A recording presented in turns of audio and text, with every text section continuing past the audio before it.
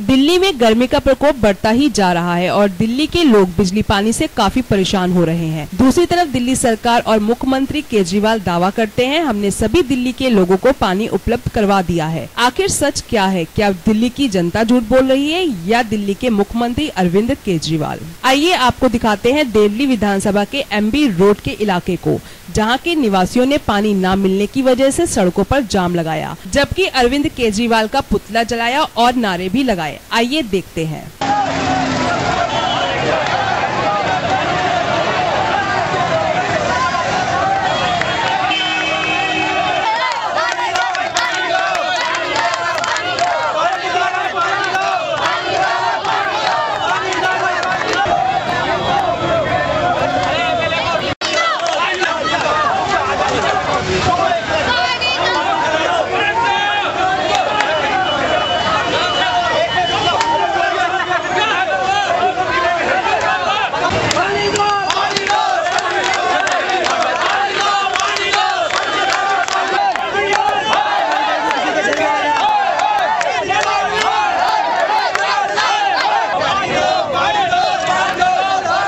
तस्वीरों को देखकर आप खुद ही अंदाज़ा लगाए कि आखिर झूठ देवली सभा की जनता बोल रही है या दिल्ली के मुख्यमंत्री अरविंद केजरीवाल?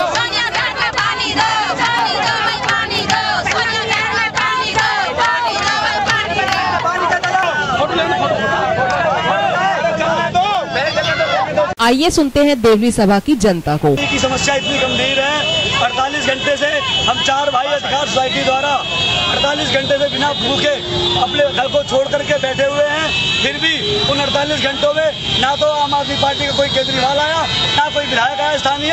एक बार हमारी सुधरी ली पानी के लिए आप देख सकते हैं कितनी भारी भीड़ आ रही है इतनी समस्या है कि पानी के लिए लोग भूखे मर रहे हैं। लोग अपने घर तक छोड़ने को तैयार है संगम छोड़ने को तैयार है। समस्या को लेकर हम लोग यहाँ पे भूख हड़ताल पे बैठे थे अड़तालीस घंटे के। उसके बाद हम लोगों ने ये पैदल मार्च रखा है ताकि दिल्ली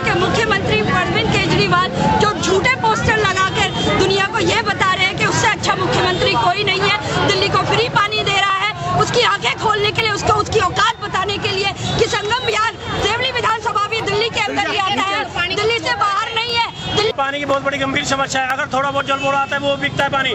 ये थी राकेश सोनी की खास रिपोर्ट। आप देखते रहिए हमारा वेब न्यूज़ चैनल www.voiceofindia.net